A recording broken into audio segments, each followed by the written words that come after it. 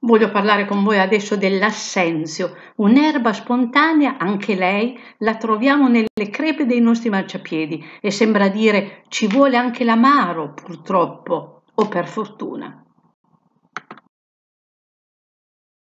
Sensio o Artemisia absinthium è una pianta delle asteracee e ha una storia affascinante e controversa. È fratello della buona Artemisia che è dolce, benefica, lui invece è scapestrato, pericoloso perché è molto amaro, può essere tossico e diventare allucinogeno.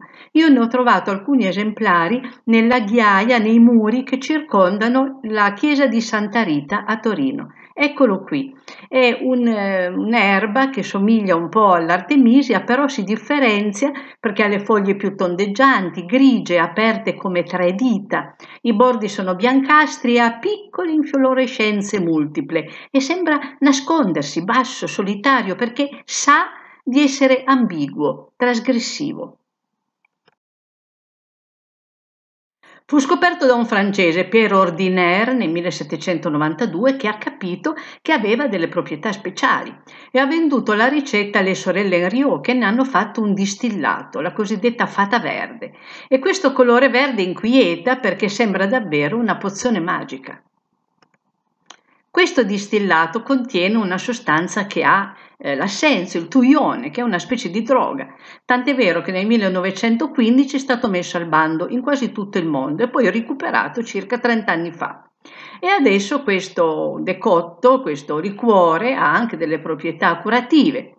Diceva Dracula nel film di Coppola, la fatina verde che vive nell'assenzio vuole la nostra anima. Questo per dire le proprietà trasgressive di questa sostanza. Però l'assenzio, poveretto, è anche curativo perché è digestivo, tonico, toglie la febbre, è vermifugo. E allora ci dice che anche le cose inquietanti hanno una loro utilità. Anche l'amaro può avere un retrogusto dolce, può far parte di una cura. Quindi dentro questo strano binomio dolce-amaro, se mi seguite, faremo un piccolo viaggio. Innanzitutto l'amaro definisce il dolce. Come l'ombra mette in risalto la luce, la cattiveria e la bontà. Abbiamo bisogno di un paragone per conoscere i singoli elementi. Infatti, quando siamo di fronte a un opposto, ecco che siamo perplessi e questo spinge a un movimento introspettivo per chiarire il contrasto. Quindi il contrasto ci fa conoscere e spinge quasi sempre poi verso una scelta che può essere istintiva o ragionata verso il polo che ci piace di più. La scelta diventa libertà, forma, individuazione. Pensiamo a Kierkegaard che ha scritto un libro, Out Out, tutto sulla scelta e diceva scegliere è l'espressione più alta e effettiva dell'etica.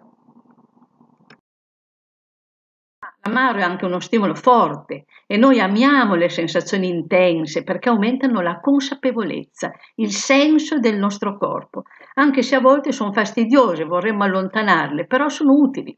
E allora guardate l'assenso, se ne sta a mezz'ombra, vorrebbe camuffarsi nel grigio del marciapiede, infatti ha una patina opaca sulle foglie che gli fanno perdere la brillantezza del verde, però per fortuna non riesce a mimetizzarsi perché mette un profumo acre e i fiorellini piccoli sono di un bel giallo che brilla alla luce. È anche profondità le zone buie sono spesso nuove, inesplorate e di lì può emergere una fantasia nuova, un prodotto straordinario dell'arte. Quanto assenso hanno usato i poeti maledetti nel 1800. E scriveva Oscar Wilde, un bicchiere d'assenzio non c'è niente di più poetico al mondo, ma che differenza c'è tra un bicchiere d'assenzio e un tramonto? E così moltissimi pittori hanno ritratto proprio l'assenzio nelle loro opere come momento di ispirazione e di trasgressione. Qui vediamo Manet, l'assenzio, c'è quest'uomo tutto vestito di nero dove brilla soltanto il bicchiere. E questo è Degas, i due bevitori di assenzio, non si guardano, sono tristi, un uomo e una donna preso dai loro pensieri. E qui abbiamo Jean-François Raffaelli, anche qui i bevitori di assenzio che chissà che, che viaggio stanno facendo nella loro mente. E questo il bellissimo quadro di Van Gogh, Assenzio, dove gli uomini sono fuori dalla finestra e la centralità è proprio nel bicchiere, nel sentire. Ed infine Ramon Casas che ritrae questa donna che beve assenzio. Guardate lo sguardo, è inquieto, sa che sta facendo una trasgressione, fuma, beve assenzio. E questa è la novità, perché a fine Ottocento incominciano a bere assenzio anche le donne. Picasso nel 1901 ritrae la bevitrice di assenzio, raccolta in se stessa, muta. Oppure Jean Berraud, anche qui, bere assenzio, con una sedia vuota. La donna chissà a cosa sta pensando o cosa sta dimenticando. Quindi l'artemisia dolce e l'assenzio amaro sono simili, quasi a confondersi, due gusti, un solo sapore, ed entrambi medicinali. La prima, rosata, ride tra le erbacce visitata dalle coccinelle, il secondo si piega nell'ombra solitario. Eppure per la primavera sono entrambi indispensabili. L'amaro e il dolce, come nella nostra vita, non si possono dividere in modo netto, perché sfumano.